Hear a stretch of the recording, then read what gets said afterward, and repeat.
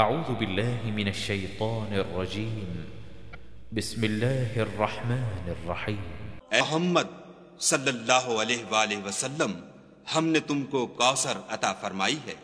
कि परवरदिगार के लिए नमाज़ पढ़ा करो और कुर्बानी किया करो। कुछ शक नहीं कि तुम्हारा दुश्मन ही बे औलाद रहेगा।